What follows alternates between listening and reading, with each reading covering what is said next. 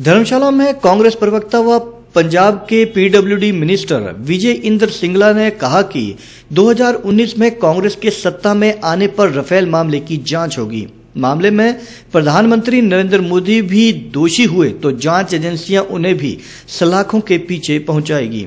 धर्मशाला में मीडिया के साथ बातचीत में उन्होंने कहा कि रफेल मामले की जाँच सीबीआई या फिर ईडी जैसी एजेंसियों के माध्यम से हो सकती है। सुप्रीम कोर्ट, कोई जाँच एजेंसी नहीं है। सुप्रीम कोर्ट ने भी आर्टिकल 32 में कहा है कि हम मामले की जाँच नहीं कर सकते हैं।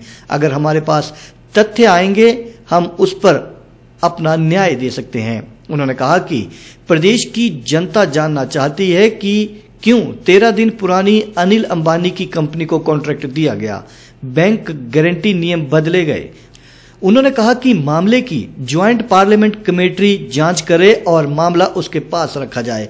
साथ ही मामले की जाँच के लिए एसआईटी का गठन किया जाना चाहिए। उन्होंने कहा कि जब यूपीए सरकार सत्ता में थी तो बीजेपी ने जेपीसी के गठन की मांग ज़ोर शोर से उठाई थी। सरकार ने उनकी बात को मानते हुए जेपीसी का गठन भी किया था।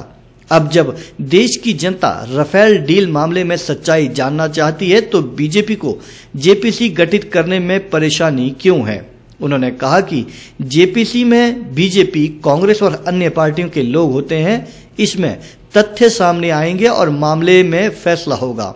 उन्होंने सुप्रीम कोर्ट में कैग के स्पष्टीकरण को लेकर भी सवाल उठाए। उन्होंने कहा कि कैग के स्पष्टीकरण में कुछ न कुछ बात तो है। उन्होंने कहा कि देश में कांग्रेस पार्टी के पक्ष में माहौल है और हिंदी भाषा के प्रदेशों ने कांग्रेस को वोट दिया है। मध्य प्रदेश, राजस्थान व छत्तीसगढ़ में कांग्रेस की सरकारें बनी हैं। अब जनता मोदी से सवाल पूछ रही है तो प्रधानमंत्री उसका जवाब दें। सबको मालूम है कि इस देश की जनता के सामने रफाइल जहाजों को लेकर एक बड़ा मुद्दा था, जिसके ऊपर सुप्रीम कोर्ट ने अपनी बात रखी है। कांग्रेस पार्टी का सुप्रीम कोर्ट की जजमेंट के के ऊपर कहना यह है कि मोदी सरकार ने सुप्रीम कोर्ट को तय के माध्यम से जो बात उनके सामने रखी है, उस डेटे को डिस्टॉर्ट करके रखा है।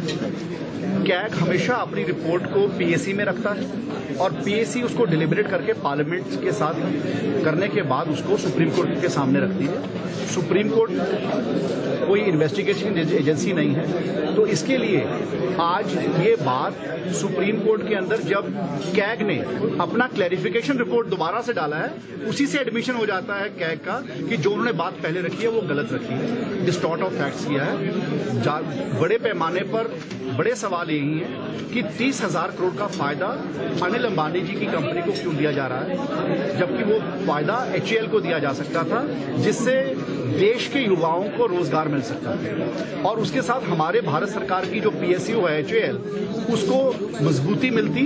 और जो टेक्नोलॉजी के अंदर लीकेज की बात ये लोग बीजेपी के लोग करते हैं तो मैं समझता हूँ कि एचएएल हमारी पीएसयू होने के बावजूद उसके अंदर से टेक्नोलॉजी जो ट्रांसफ़र वहाँ से होता तो वो कभी भी बाहर ना जाता। अगर किसी प्राइवेट कंपनी के पास टेक्नोलॉजी ट्रांसफ़र जाएगा तो वो निश्चित है वो बाहर जा सकता है। उसके अंदर ज़्यादा बात है बाहर जाने की। और जिस प्रकार से अनिल अंबानी की दूसरी एक डिफंक्ट कंपनी को millions of euros Dassault aviation ने दिया है। इससे मालूम पड़ता है कि there is some secret pact between them और मैं फॉर किक बैक्स तो ये आज देश के सामने मुद्दा है।